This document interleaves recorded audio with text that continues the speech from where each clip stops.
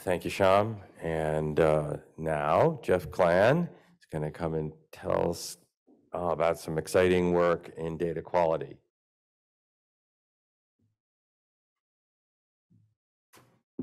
Hey, everybody. Um, I'm going to talk about data quality, and um, I'm Jeff.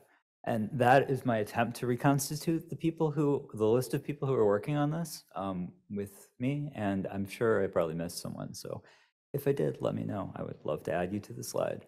Um, I also realized that I forgot to put in kind of a 10,000 foot view of why we care about data quality. So I'm going to do something that I've always wanted to do, which is just talk while I'm on the title slide for a while. So data quality is a huge issue that needs to be addressed when you're dealing with EHR data, and especially when you're linking EHR data together across a lot of sites, um, because different sites use different coding systems, different coding practices. One site might use a specific code for LOINC that, um, because the LOINC lab ontology has many codes that are very similar but have slightly different collection methods.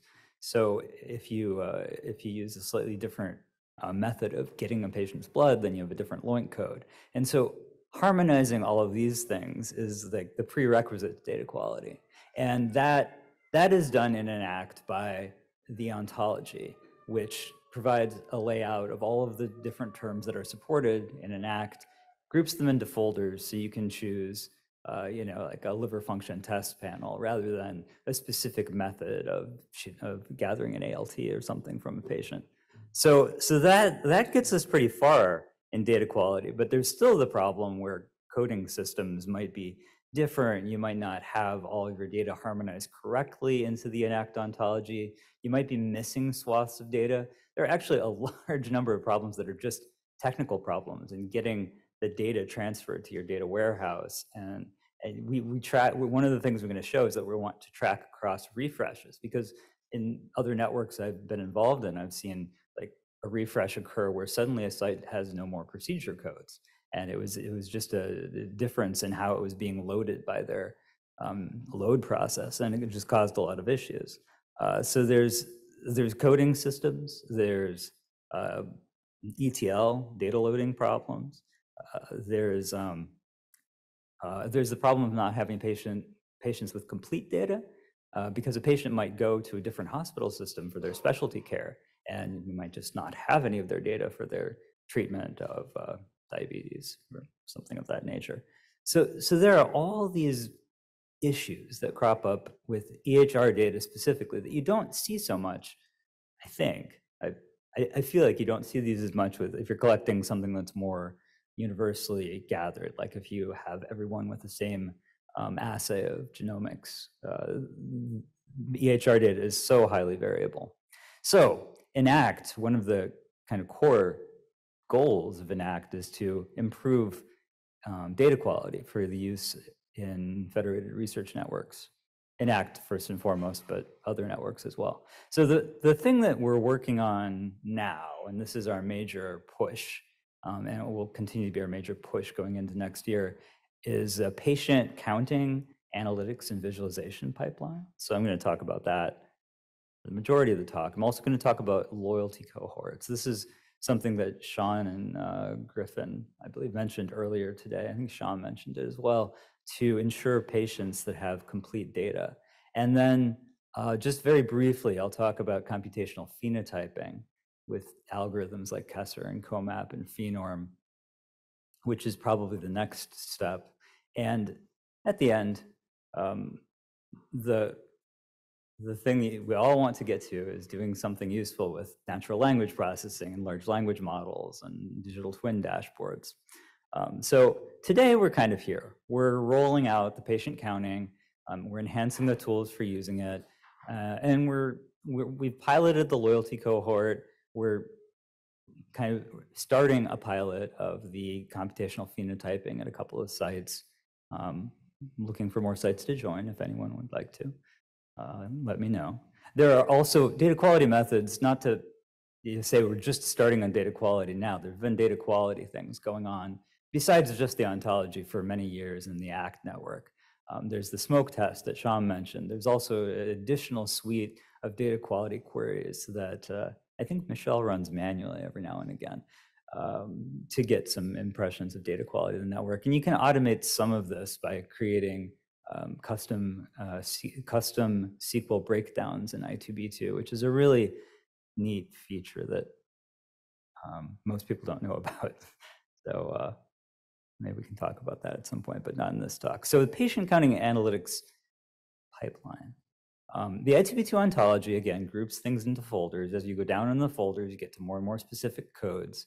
Um, I2B2 has had this data field since like 2007 for storing a number associated with each uh, with each element of the ontology. And that number is used usually for the number of patients in the data warehouse that have that piece of information. So here we have about 45,000 patients who have a medication. We have uh, about 5,000 that haven't that have been prescribed an angiotensin 2 inhibitor. Um, so just by counting all these things and counting them at all of the sites in the ACT network, we can start to look at what's different across sites. Um, where do you have like a dramatically fewer number of patients with hypertension than another site? Uh, or, or did you lose all your procedures in this data load versus your last data load?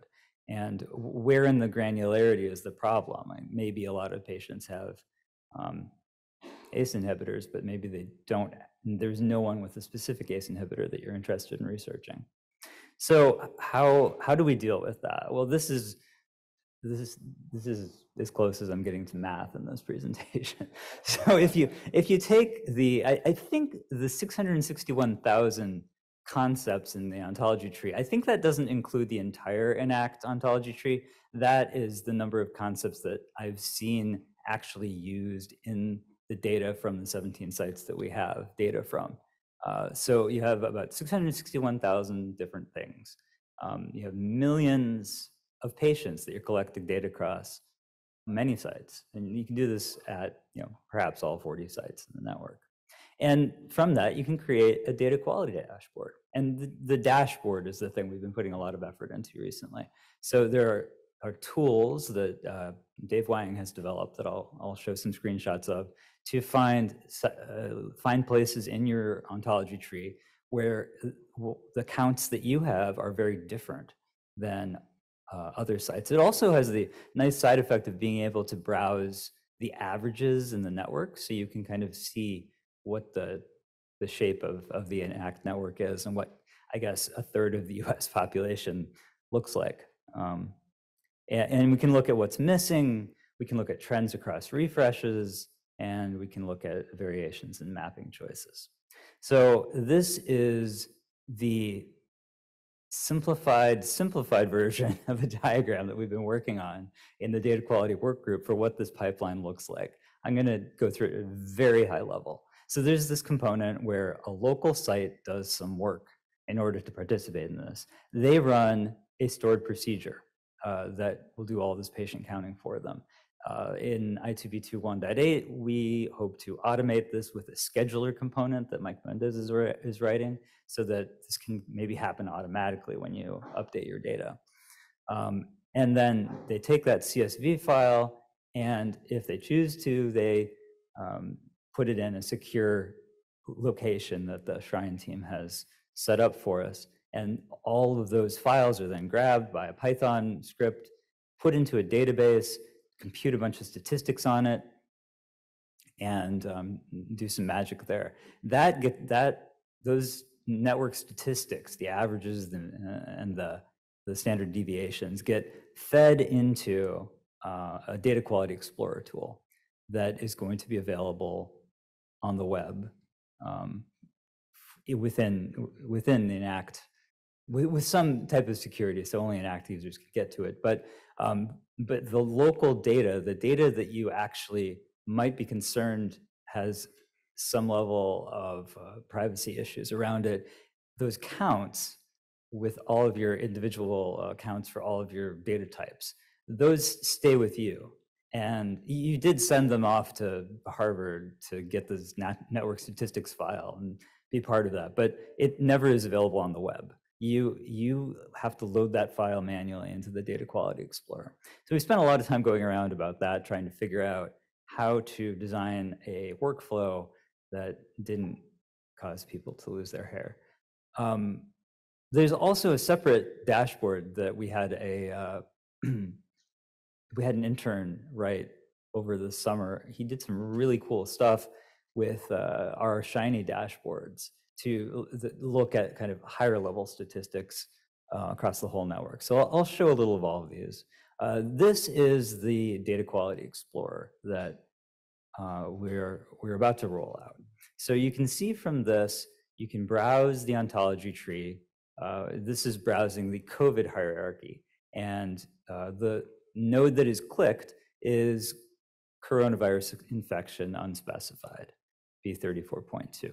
So that is one of the uh, diagnosis codes that we put into the COVID ontology that's relevant for COVID research.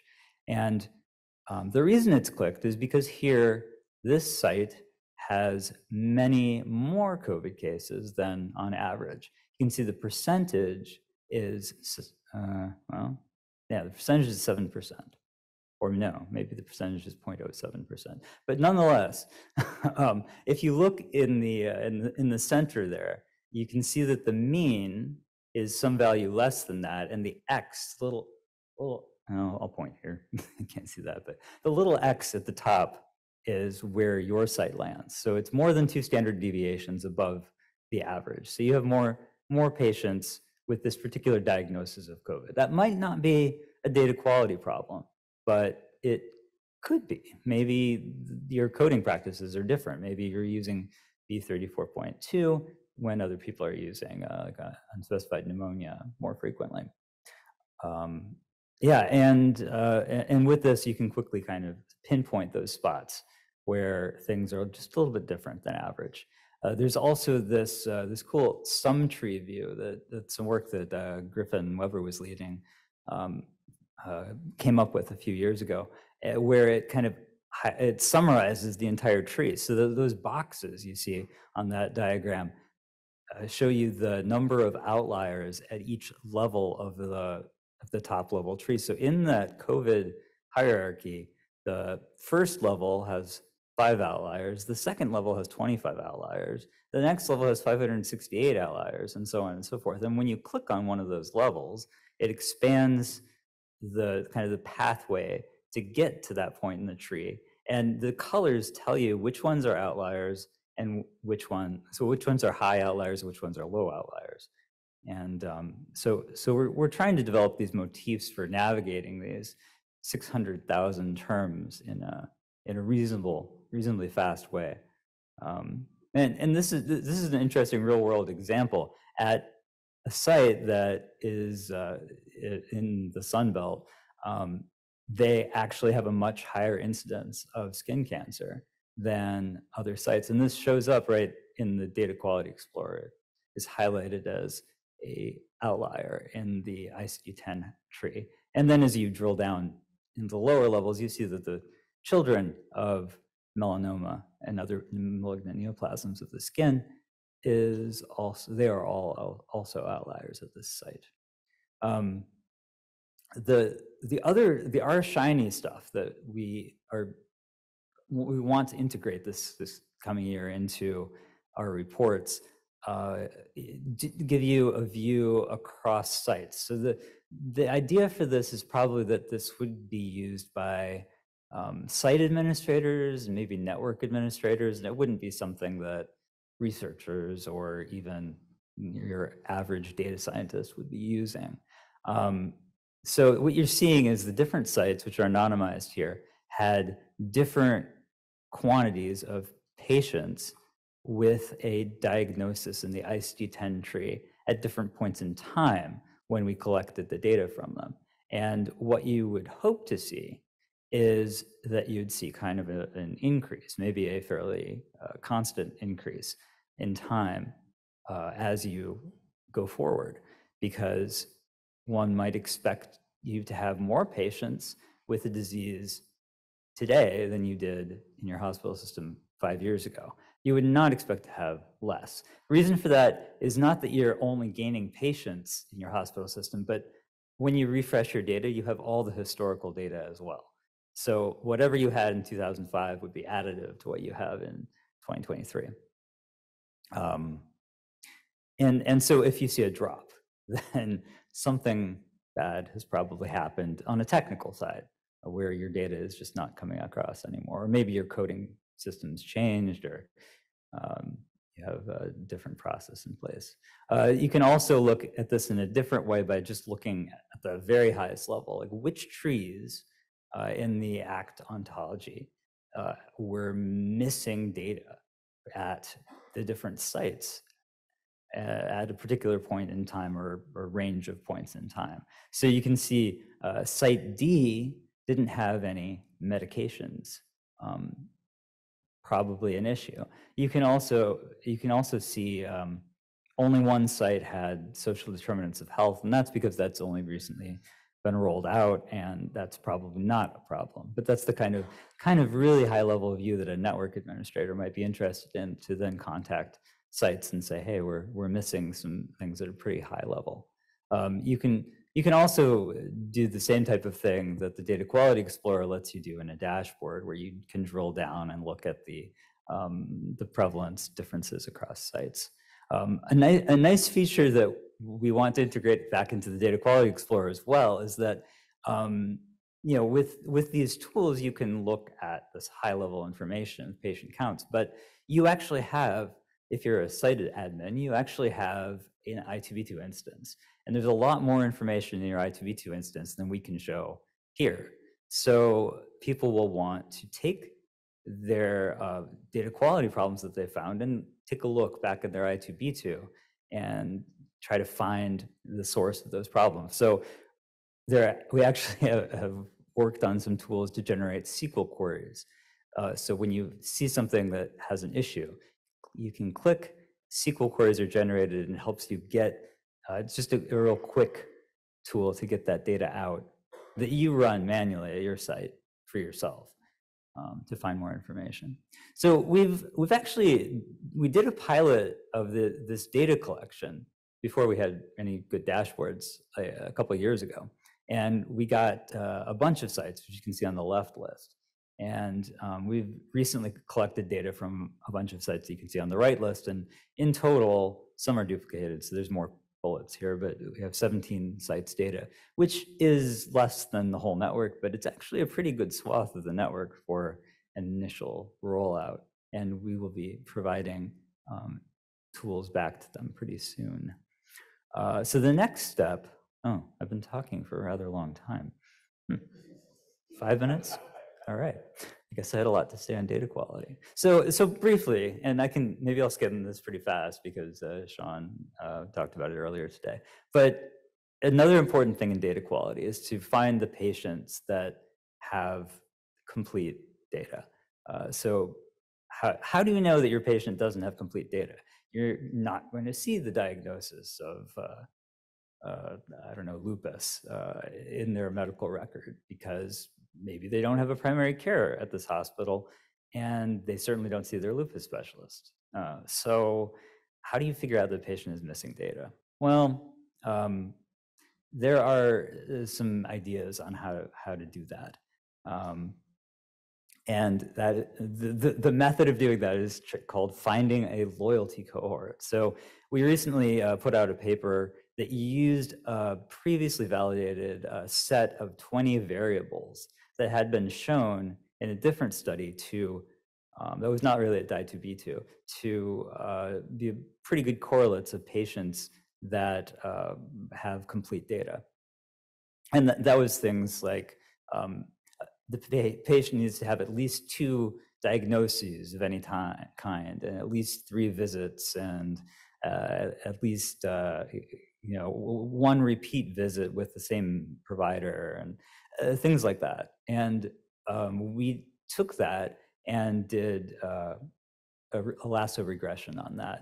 And we mapped it all to I2B2 in the ACT ontology, do a lasso regression at the local site and find coefficients to detect patients that maximize the score. So the patients get components of a score for having all of these things.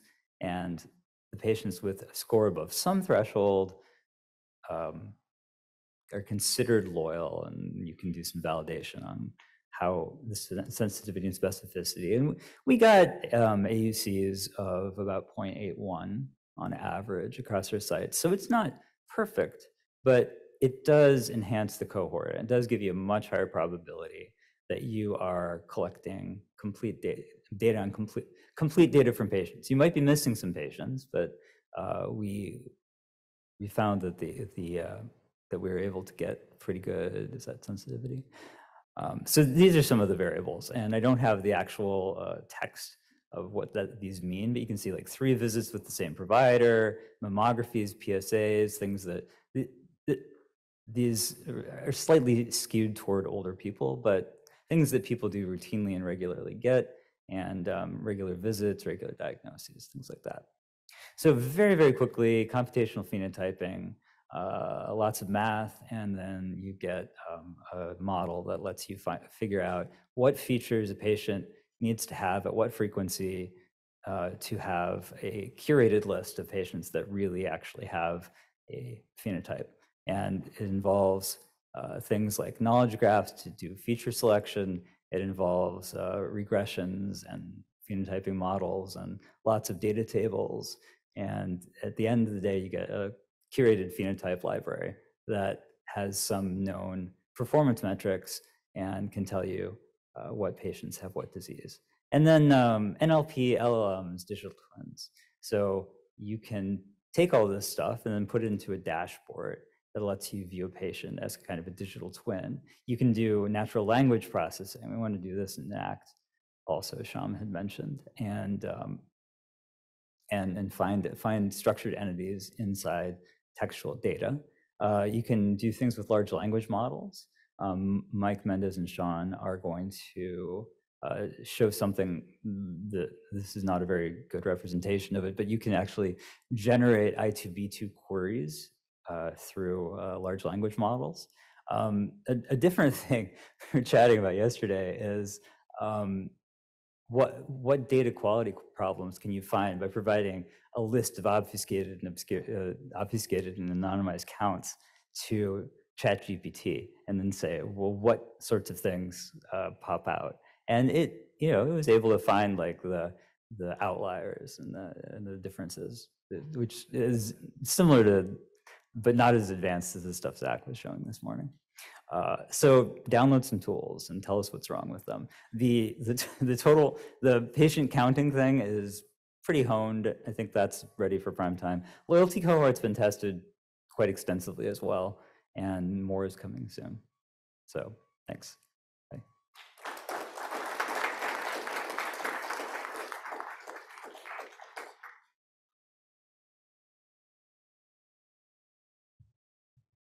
Thank you for your great talk. So I have two questions. First, for data harmonization, can the algorithms like uh, manifold learning be integrated into the system to deal with the missing data or outliers? And second question, when query and select uh, data with outliers, can uh, a high dimensional map be provided, like UMAP or t-SNE map?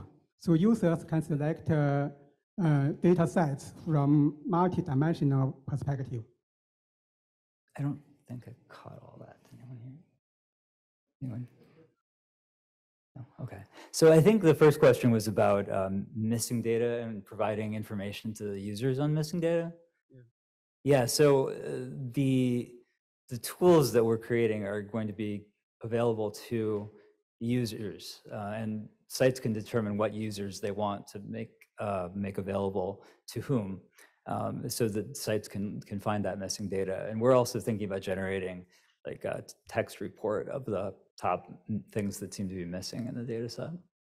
Um, and the second question, I don't think I know what those those things are, a TP map and yeah, t-SNE map or UMAP, a high dimensional to low dimensional selection. So yeah. we can use a, a graphic interface. User can select data sets easily from multi-dimensional, like a reader map. Oh, okay. All right. That's that's very interesting stuff. Oh, I'll I'll want chat. Maybe we can chat offline about doing that kind of thing. Thank you. Thanks.